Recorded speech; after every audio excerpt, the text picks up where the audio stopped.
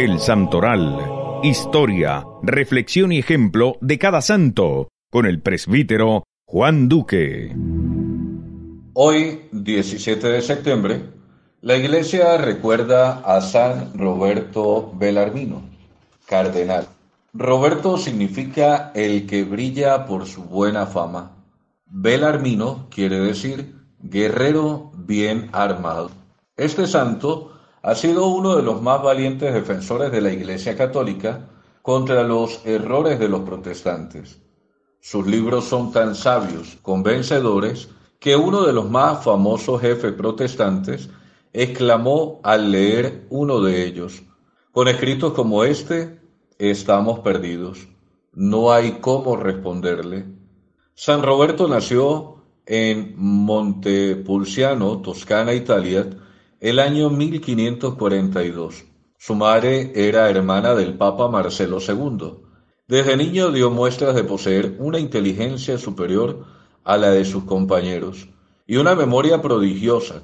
Recitaba de memoria muchas páginas en latín del poeta Virgilio, como si las estuviera leyendo. En las academias y discusiones públicas dejaba admirados a todos los que escuchaban el rector del colegio de los jesuitas en Montepulciano dejó escrito, es el más inteligente de nuestros alumnos, da esperanza de grandes éxitos para el futuro.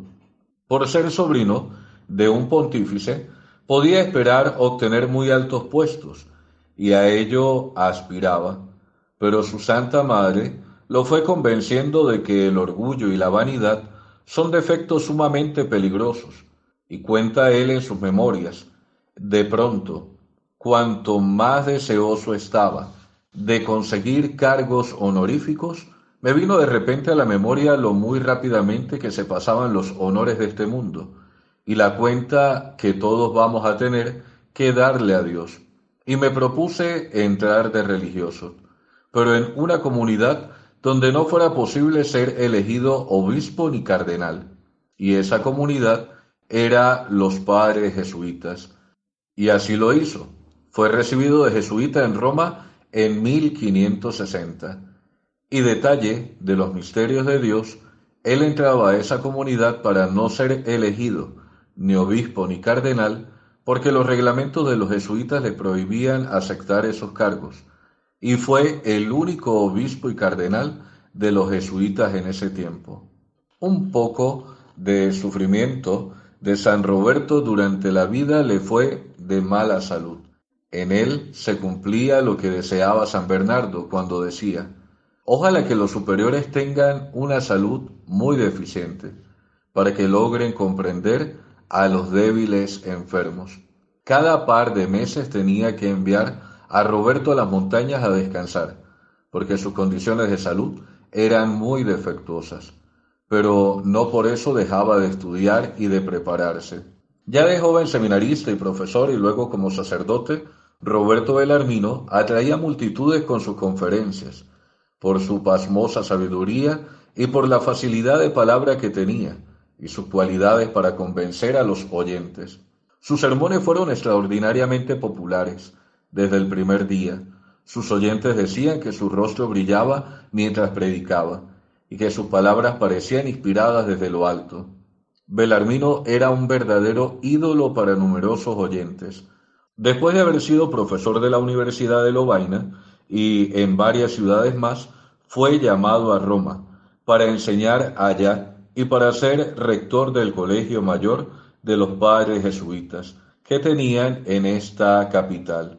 El sumo pontífice le pidió que escribiera un pequeño catecismo para hacerlo comprender a la gente sencilla.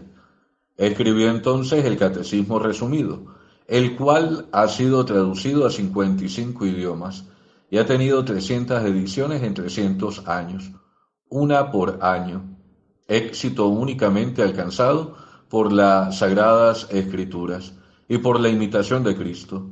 Luego redactó el Catecismo explicado, y pronto este, su nuevo catecismo, estuvo en las manos de sacerdotes y catequistas en todos los países del mundo.